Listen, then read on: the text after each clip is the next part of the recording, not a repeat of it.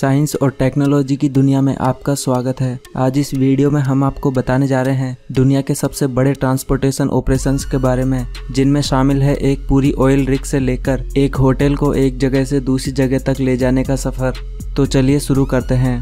ये है बरकट oil rig जो कि दुनिया की सबसे बड़ी ऑयल रिग है, जिसका इस्तेमाल समुद्री सतह के नीचे पड़े ऑयल को बाहर निकालने के लिए किया जाता है। साल 2014 में इस बयालीस हज़ार टन वजनी ऑयल रिग को इसके वर्क स्टेशन तक पहुँचाने के लिए एएलई हेवी लिफ्ट नामक कंपनी को इसके ट्रांसपोर्टेशन की ज़िम्मेदारी दी गई। इसे लिफ्ट करने के लिए चार जैक्स को इसके चारों कोनों पर टावर की शेप में लगाया गया। 11 घंटों की मेहनत के बाद इस ऑयल रिग को एस पर लिफ्ट करके इसकी वर्किंग लोकेशन तक ले जाया गया। यह है सेल्फ प्रोपेल्ड मॉड्यूलर ट्रांसपोर्ट जिसे नॉर्मली एसपीएमटी कहा जाता है। इनके बिना किसी भी भारी ट्रांसपोर्ट ऑपरेशन को परफॉर्म कर पाना इम्पॉसिबल है।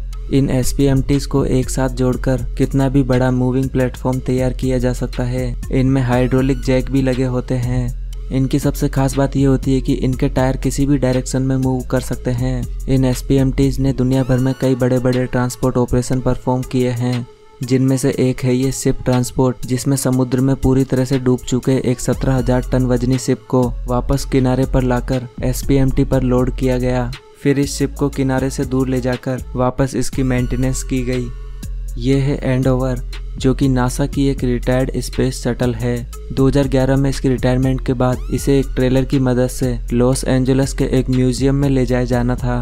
अठहत्तर टन वजनी इस स्पेस शटल को सड़क के रास्ते कई परेशानियों का सामना भी करना पड़ा। लेकिन फाइनली तीन दिन पूरे शहर के चक्कर लगाने के बाद इसे सुरक्षित म्यूज़ियम में पहुँचा दिया गया।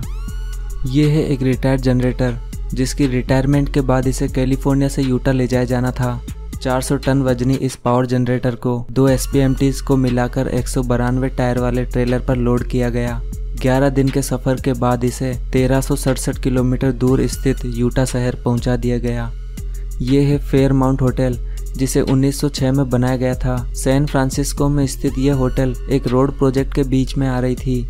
गवर्नमेंट के ऑर्डर्स के बाद इस होटल को टूटने से बचाने का एकमात्र सॉल्यूशन था इसे यहाँ से किसी और जगह ले जाना। उन्नीस में इस होटल को दो सौ अट्ठासी टायर पर बने जेक के ज़रिए उठाकर दूसरी जगह शिफ्ट किया गया। 1650 टन वजनी इस होटल को दूसरी जगह शिफ्ट करने में तीन दिन का समय लगा, और आज भी ये होटल वहीं सुरक्षित मौजूद है। ये है ट्रोल ए प्लेटफॉर्म। नॉर्वे में स्थित इस प्लेटफॉर्म को 1996 में बनाया गया था।